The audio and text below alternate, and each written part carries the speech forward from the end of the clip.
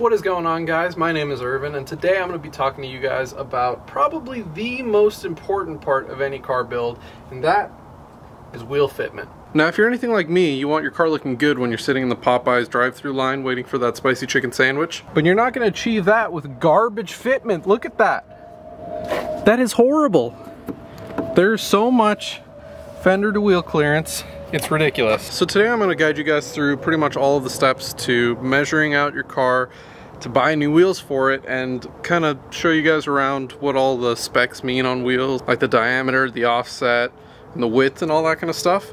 So this video should have you guys being able to measure all this out by yourselves in no time and getting some wheels that fit nice and tasty on your car. So first things first, you kind of got to decide on what kind of fitment you want. As you guys have just seen, this is my 2003 IS300 and this is stock fitment on a lowered car. It is absolutely atrocious. So you can see that it's sucked in quite a bit. On the other side, it isn't nearly as bad. That is a little closer to flush right there just barely poking out a little bit.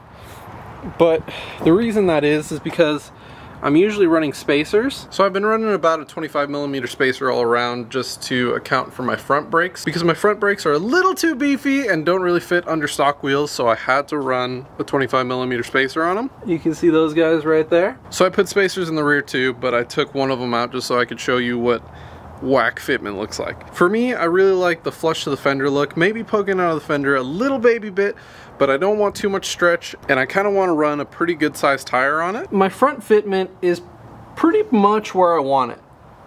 I don't want it sticking out too much. I don't want much camber. I just want it even with the fender and still having a beefy tire on it. So that's what we're going to be going for in the front. Same in the rear pretty much.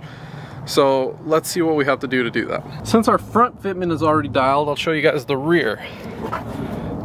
Honestly, it kind of tucks in a little bit at the top, a little bit more than I would like. So I think I'm gonna be getting wheels that are a little bit wider than that so they stick out a little bit more. At this point, about two centimeters wider is pretty much as far as I would be willing to go in the rear. So that's the measurement we're gonna be going for. So now that we figured out where we want our outer lips to be, we gotta figure out where we want our inner lips to be.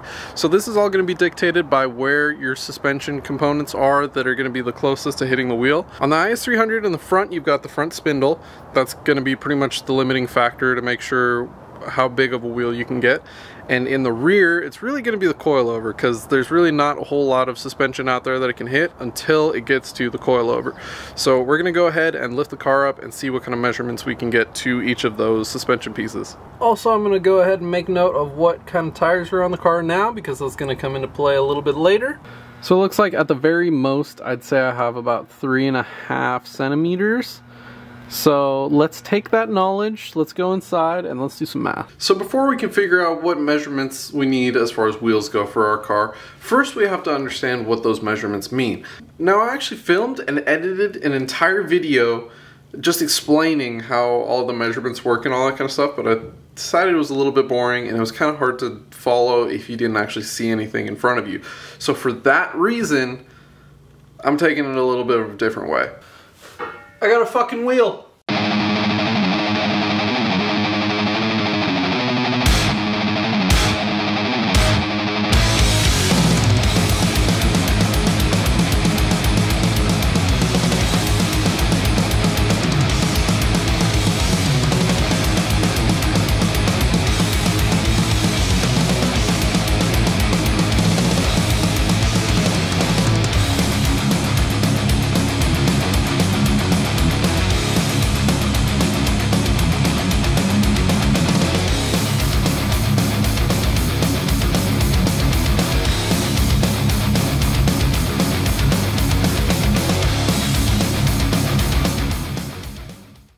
So there's two things you guys should know about me. One, I don't want to make boring videos for you guys. I want to make stuff that you guys actually want to watch. But two, I love a good cross section. And I mean, who doesn't?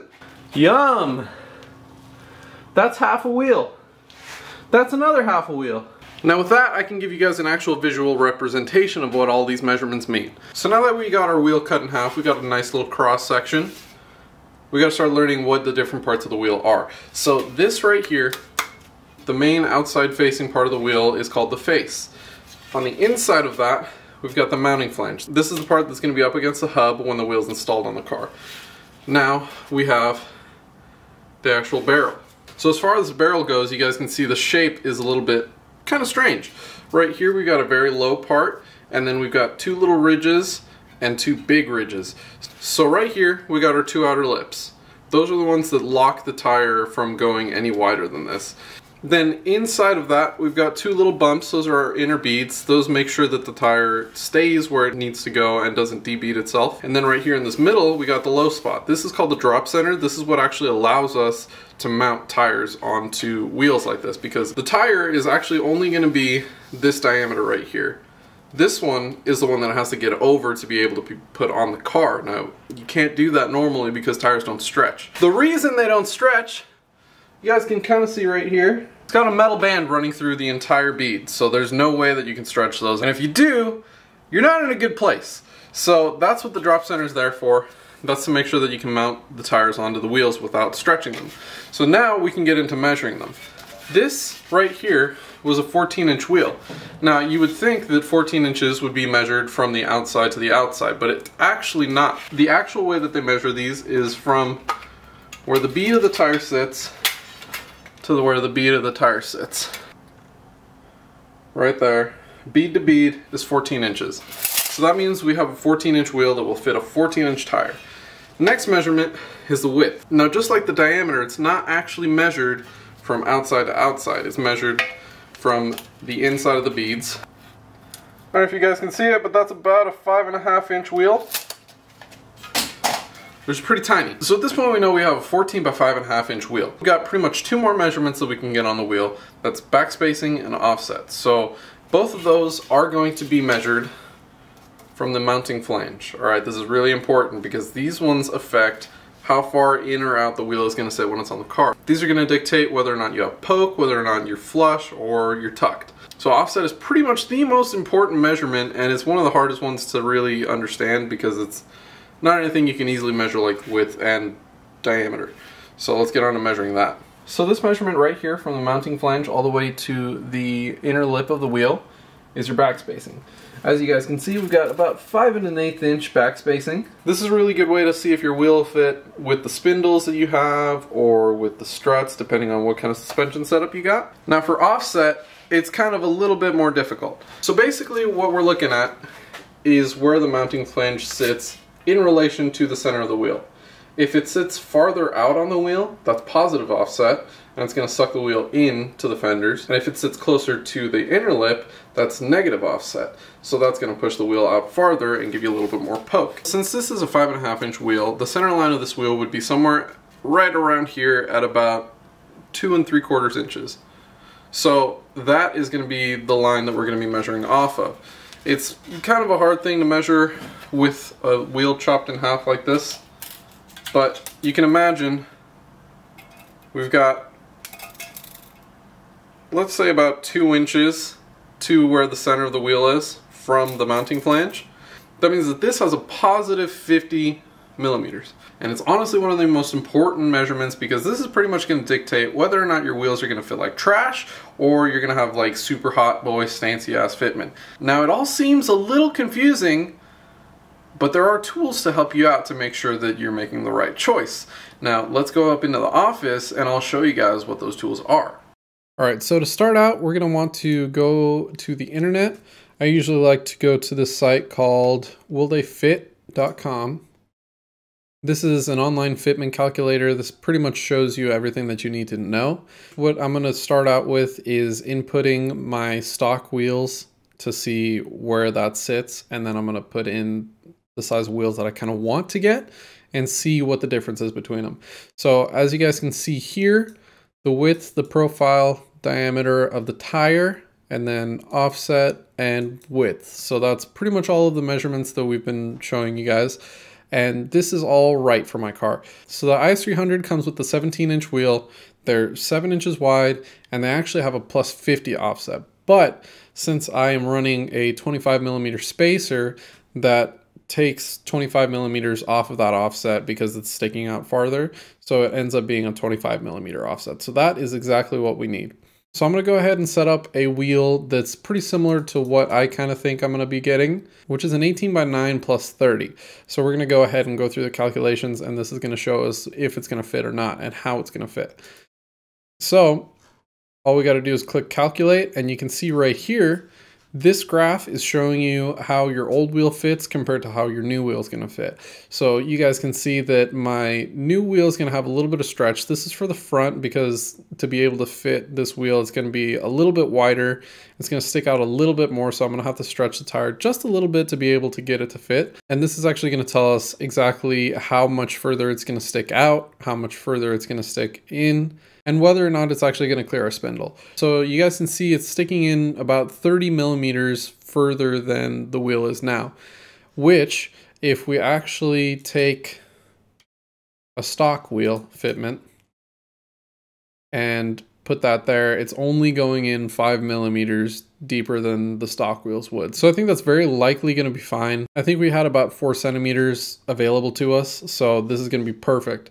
So it looks like at the very most, I'd say I have about three and a half centimeters. Now you guys can see the tire that I'm choosing is actually not going to stick out any farther than the tire that I have on it now. So that's going to be perfect so that I can lower it and it'll tuck in pretty nice. As far as the rear goes, we have the same setup, but you guys do know that the, the rear was not poking out as much as the front was, and we still had a little bit of room on that. So I'm actually gonna take that up by running a little bit wider of a tire something like a 245 40, I think. And that is going to give me a little bit more traction in the rear and it's going to give me that wider tire to kind of fill up the arch gap a little bit. Now, if you don't have a computer or that just seems like too much work, there is actually a phone app called Tire Size Calculator that does the same exact thing. And honestly, it's pretty nice too. So, I mean, if, if all you got is a phone, you can still do all the same calculations. Now, me being an absolute fucking extra motherfucker. I can't just go without seeing the wheels that I want on my car. So I kind of had to figure out a way to be able to really visualize the wheels to make sure that it's something that I'm actually going to enjoy. So that is what this document is for. As you guys can see, a little Photoshop document. This is my car. And uh, I've done a few things to it. So this was back before it was lowered. I pretty much stayed about this right height in the front, but if I was to lower it further, that's about where I would want it. Blacked out the old wheel, and now I have a few different wheel choices that I was kind of going through. So I've got the Konig Countergram, the Aodhan DS07, the Kansei Roku, another version of the Countergram, and the XT06 by Cosmis Racing. So I'm still kind of debating what I'm going to do with it. I'm not really sure. So if you guys have any suggestions, make sure to leave them down in the comments. I want to see what you guys would choose out of any of these wheels. I'm trying to stay a little bit budget friendly because I'm not really trying to spend $3,000 on a new wheel setup, but I want something that'll look good. So let me know what you guys think down in the comments. And if you guys enjoyed this video, make sure to hit the like button, subscribe, and stay tuned for the new wheels because we are going to be getting those soon. I'm not exactly sure when, but they will be coming in soon. I hope you guys are stoked. I'm fucking stoked yeah, I'll see you guys next time.